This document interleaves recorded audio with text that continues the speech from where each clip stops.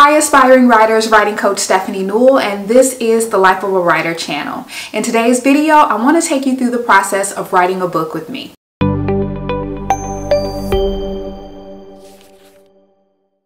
If you want to connect with readers and sell more books, make sure to subscribe and get new content every Tuesday. So in today's video, I'm going to be creating a digital product and a digital product is a product in digital form such as an ebook. So to be clear, there are Kindle books that are sold exclusively through Amazon for their platform and then there are ebooks that you can create for your own website or another digital platform that allows you to sell digital products. And that's what I'm going to be creating today. So these ebooks are usually smaller in size and usually deal with a very specific subject matter.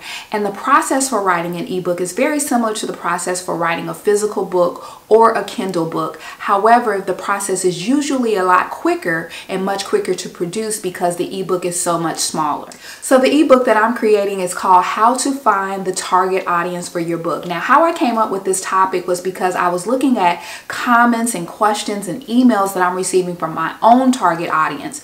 And I realize that you guys need way more in-depth information on this topic because a lot of times you're getting surface information telling you that you need a target audience but not enough information explaining exactly how to find your target audience. So this ebook is going to go in depth on how to find your target audience for your book. I'm also creating this ebook because identifying your target audience is one of the most important steps that first time authors can take, but it's often a step that's skipped. And that's either because first time authors don't understand the value in identifying their target audience or they simply just don't understand how to identify their target audience.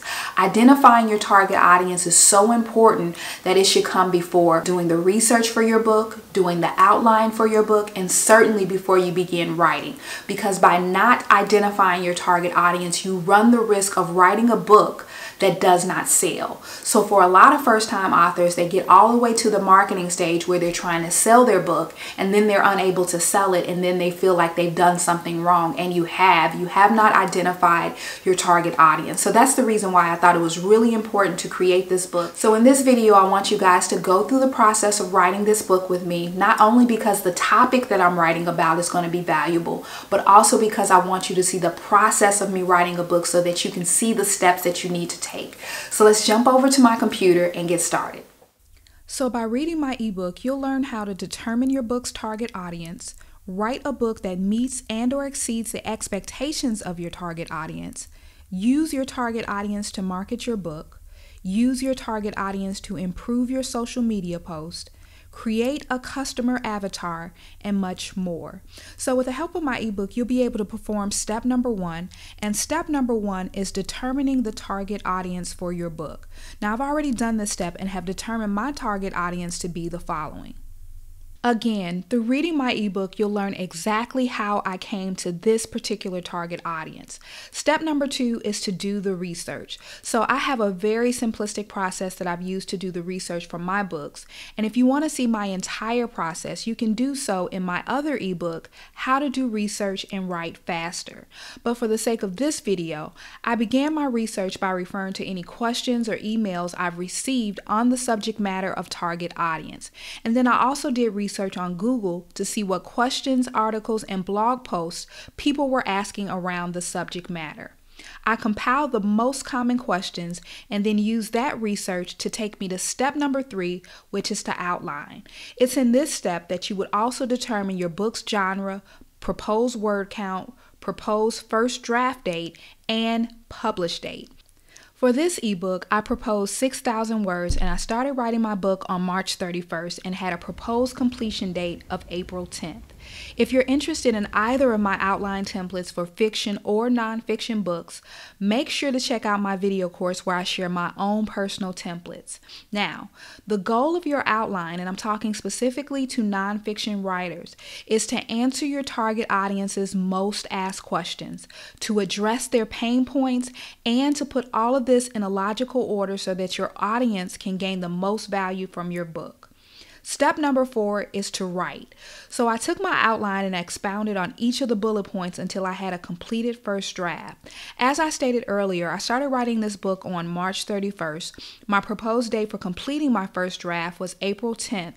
However, because I had such a concise outline and was very clear on the subject matter I was writing about, I was able to complete my first draft on April 2nd.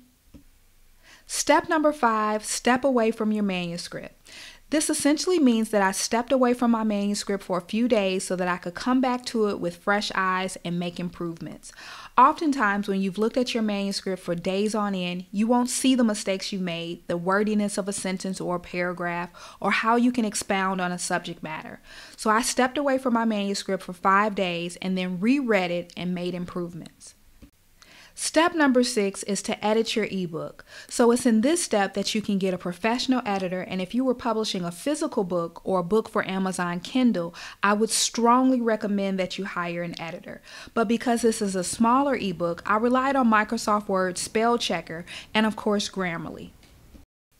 Step number seven is to format your ebook. For formatting, I use iBooks to create my ebooks. I like this software because it helps you to create a professional looking product and it's very simple to use. Step number eight is to create a book cover. I purchased a stock photo that I felt best represented the book's subject matter, and I used Canva to create a simple book cover. As I stated earlier, as it related to the editing, if this were a physical book or a Kindle book, I would have definitely got a professional book cover design. But because this is an ebook that I'll be selling exclusively through my own website, this book cover design will do.